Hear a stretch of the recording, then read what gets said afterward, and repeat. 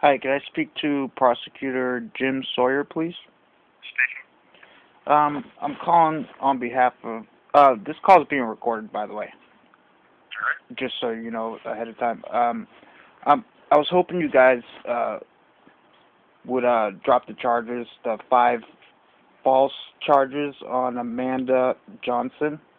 I'm not sure if you're familiar with her. Mhm. Um, yes, I'm, I'm pretty much just hoping you do the right thing and let you know she has people that support her and she's a good activist and these are false charges by that officer so I don't know. I appreciate your interest, sir.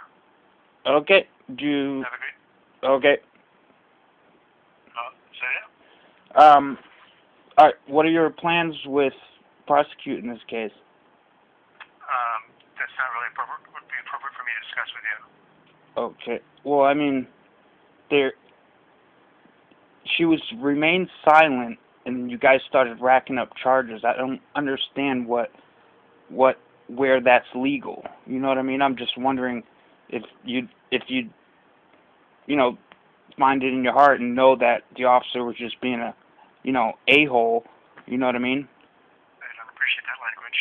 Well, that's why I said a hole. Um, I Well, I apologize. mean, you're calling somebody, uh, a police officer, that. I mean, that, Yes, the just because you may have a different opinion as to what the Mhm. officer did doesn't mean you can call people names. Uh, well not he.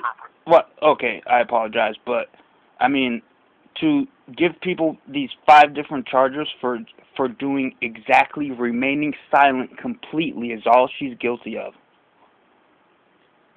That's that's her right as a U.S. citizen in this country, is it not, to remain silent?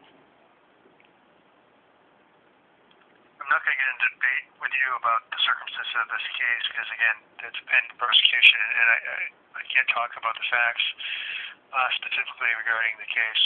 Um, it would impact the prosecution and, and a, a fair trial to Ms. Johnson, so I will not do that. Prosecution. Okay. Have All a? Have a good day.